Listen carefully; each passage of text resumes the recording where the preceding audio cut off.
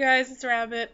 Um, today I just wanted to kind of update because I got um, sort of a cool prop for my Iplehouse pet doll, um, my little little Quentin here. Um, I decided that uh, I was going to take him and um, Hikaru to the Crossroads Doll and Teddy Bear show in Puyallup, Washington in March.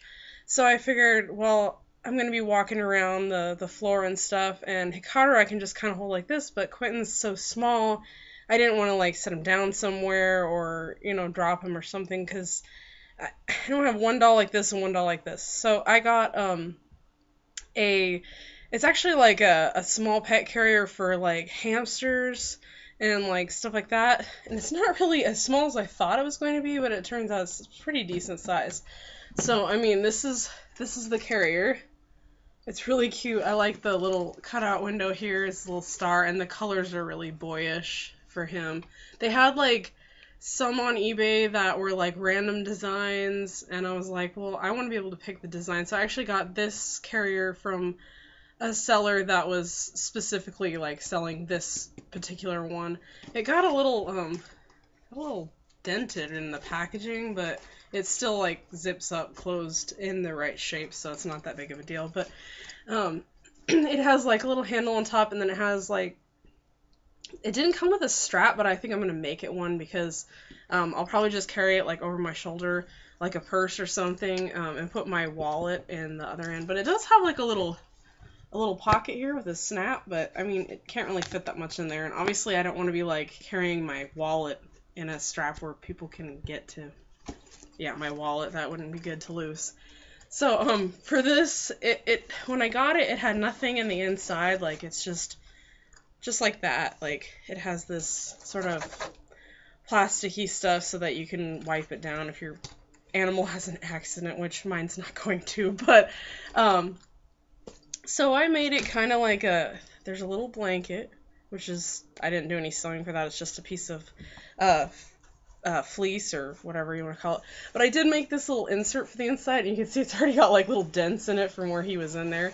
But um, and then I made it a little like elastic strap so that he doesn't um, like tumble around in there because that was one of the things I was kind of concerned about. It's a little uh, it's a little bit big inside there for him. Like, I'll show you. He does fit in there really well. Actually, I kind of just put his feet back so I can tuck him in there, but um, he fits in there like that. So I mean, he has enough room to like move around or whatever. And then I put the elastic strap in there so that when uh when he's in there, I can just kind of tuck him in there, and it's like a little seatbelt kind of thing, kind of just holds him in place um, for when I'm actually walking around with him, which is nice. I feel better about that. He's really secure in there. He doesn't move around. And then, uh, you know, he's got his little props, like this little bone. These are actually, this is actually a real, like, rawhide dog bone. Um, but it's like perfect scale. They had them at the store and they came in like a package of like a bunch of them. And I bought them at work and, um, because I work at the store and I bought them and my coworkers are like, "Oh my gosh, you don't you don't even have a dog. What are you doing?" And they're like, "That's that's for your fake dog, isn't it?" I'm like, "Look at it. The size is so perfect." And some of them were like, "Oh, that's awesome." And others were like, "Okay, she is seriously weird into these dolls, which is okay. I I totally don't care if they judge me for that, but whatever." Um but yeah, he has this little little bone, and then he has his little bear fits in there. I love this little bear. It's it's like his little his little buddy. It was actually like it has these cute like tiny little beady eyes. It just cracks me up, and then it has like little little stitched paw pads. I, it was actually a Christmas um, ornament thing, and it had a little stitched candy cane. And I, I originally bought it thinking, oh, that's cute, little Christmas thing. And then it just kind of sat around in my drawer. So I cut the little candy cane off, and now it's Quentin's bear. I don't know. It probably has a name, but who knows what a dog would name their teddy bear? So I'm not really sure. But yeah, it goes in there. And he's like super cozy in his little carrier. So yeah, I just wanted to share that with you guys. Um, the only thing is, I know it like looks great with him, but I'm just thinking, like for me to carry it, it's it's great.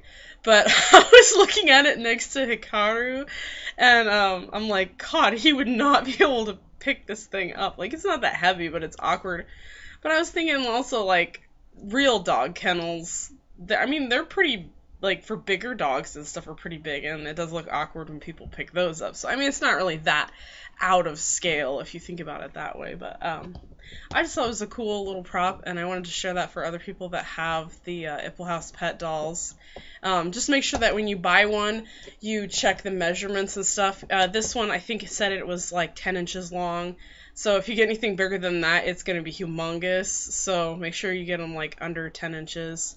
Um, but yeah, they they do um, have some on eBay uh, under like small pet carriers for hamsters and stuff like that. So they also have little ones for hedgehogs that um, like you can hang around your neck and it has a little zipper on the top. But it they look less. I mean, they look more like a hedgehog carrier than less like a like a dog kennel. So I didn't get one of those, but um, that would also be a good idea if you're just planning on carrying it around somewhere with you um, to keep it safe. But yeah.